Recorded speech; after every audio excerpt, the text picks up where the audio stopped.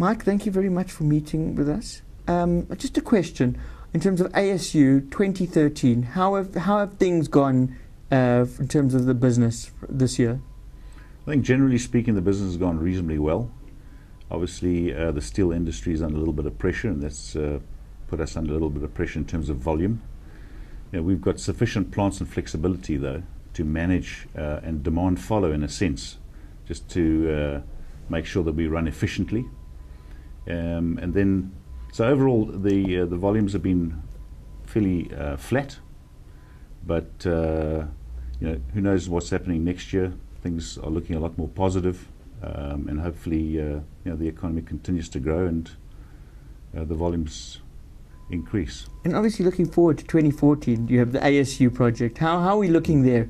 How, how are things standing? Where, where are we standing at Elon, the moment? you're obviously referring to the, uh, the project down in Port Elizabeth. Yes. Um, that project is progressing very well. We commenced with it a little while ago. I think in July we commenced with the, uh, the bulk earthworks and civils. Uh, we anticipate to have all that completed before the December break.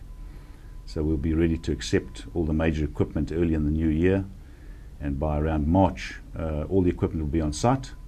So the project is on track. We still anticipate to be on, on stream early quarter four 2014.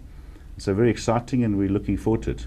And you say the significance. Explain the significance of this project from, from Air Product and for the and for the area.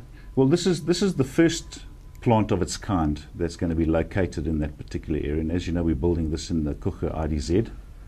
Uh, up until now, uh, all the gases are trucked in from hundreds of kilometers away, and that uh, creates a lot of insecurity in terms of supply.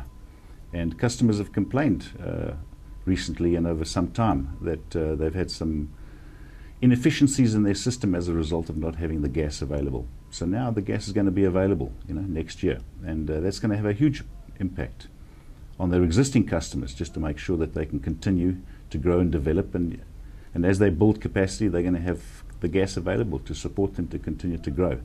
In addition to that, it obviously attracts other industries into the region who are gas users.